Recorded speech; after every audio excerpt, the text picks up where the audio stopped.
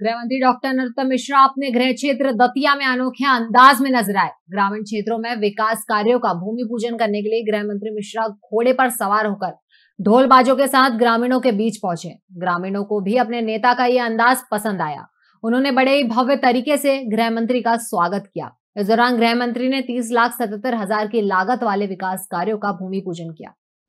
प्रदेश में भारतीय जनता पार्टी विकास पर्व मना रही है, जिसके अंतर्गत प्रदेश में एक महीने में दो लाख करोड़ रुपए के कामों का लोकार्पण और शिलान्यास किए जाएँगे। इसी के अंतर्गत गृह मंत्री नरोत्तम मिश्रा अपने गृह क्षेत्र दतिया पहुँचे, जहाँ ग्रामीण क्षेत्रों में उन्होंने विकास कार्यों का भूमि पूजन किया।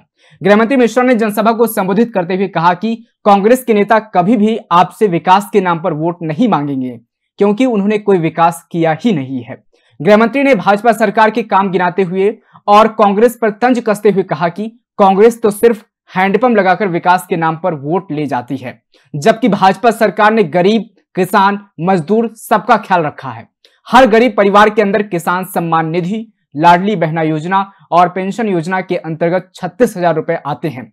फिर उसके बाद शिक्षा, स्वास्थ्य, सब कुछ फ्री है। गृहमंत्री ने कहा कि दतिया में जितना विकास हुआ है, उतना विकास तो कहीं नहीं है। गृहमंत्री मिश्रा ने कहा कि दतिया से गुंडाराज, डाकूराज पूरा खत्म हो गया है।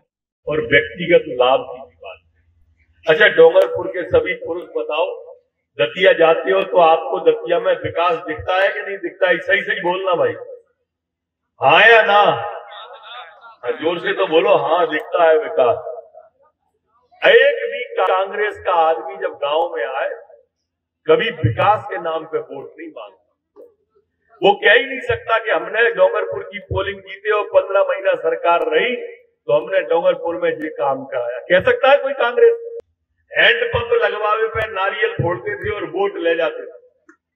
पहली बार हमने व्यक्तिगत दिया। व्यक्तिगत लाभ ऑफ़र के अंदर। लाडली बहन, बारह हज़ार, छोटी से छोटी इकाई बता रहे हैं यही साल और बारह हज़ार हमारे किसान सम्मान निधि के और बारह हज़ार पेंशन के।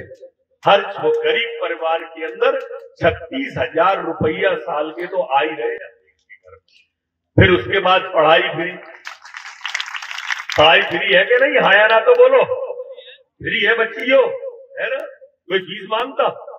किताबें मुफ़्त की मिलती है? मिलती है ना? मध्यान्ह भोजन फ्री का मिलता है।